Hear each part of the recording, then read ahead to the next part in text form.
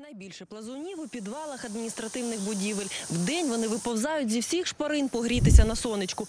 Тут на задній Сироватки від е, укусів в Україні немає. Можливо, ви бачили подібні статті. Подивіться, як їх багато.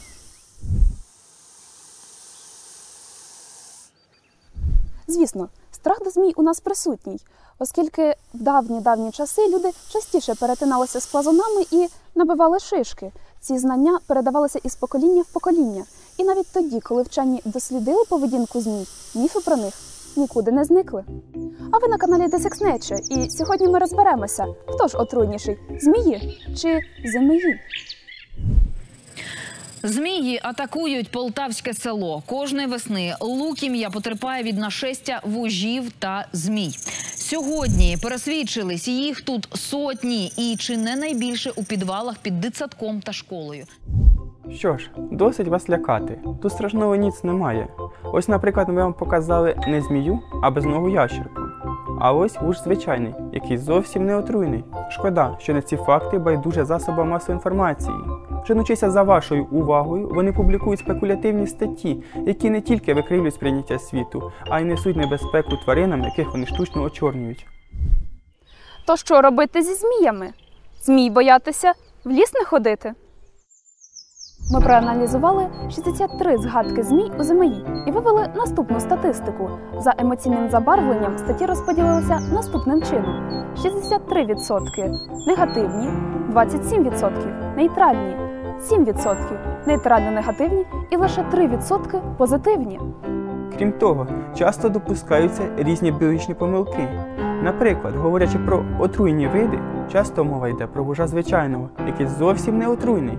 Але це не означає, що йому можна класти палець до рота. Вужі не чистять зуби. На них концентруються бактерії, які при потраплянні до рани можуть спровокувати різні проблеми. А друге велике відкриття в тому, що веретільниця неотруйна, безнога ящерка. Є один психологічний прикол. Якщо про певний об'єкт говорити негативно, то і сприйняття його стає таким же, і навпаки. Як ви бачите, таке відбувається зі зміями. Хоча все набагато простіше. Якщо дотримуватися елементарних правил поведінки, то можна не отримати премію Дарвіна.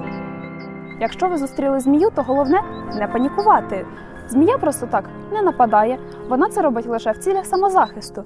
Це такі випадки, коли ви налякали лускату, наступили на хвостика або ж вирішили перевірити, а яка ж на дотик шкіра у рептилій. Спокійно обійдіть змію і не перешкоджайте їй шлях до відступу. Повірте, скоріше вона втече, ніж ви. Не махайте і не штурхайте палками того, кого зустріли. Це і людину не лякає, не те, що змію. Якщо змія все ж агресує на вас і стала в позу нападу, то постарайтеся спокійними кроками вдійти назад.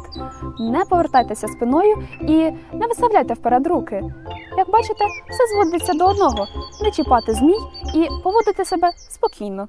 Також варто пам'ятати, що змії є невід'ємною частиною природи. Вони входять до ланцюгів живлення, поїдаючи гризунів, молюсків, комах та іншу дрібноту, і самі є кормом для більших хижаків. До речі, важливо знати, де живе кожен вид змій. Це легко можна подивитися на герпетологічних сайтах. Там вся інформація про змій фауни України. Посилання ми залишимо у закріпленому коментарі. Ось і вся правда про змій. Якщо відео було вам цікавим, то лишайте свої вподобайки та коментарі. Не забудьте підписатися на канал, щоб дивитися наступні відео. Також хочемо подякувати трьом синичкам з Патреону, які активно підтримують нас. Не соромтеся долучитися до їхньої пернатої тусовки. Також хочемо подякувати команді Куншт за допомогу у зйомці цього відео.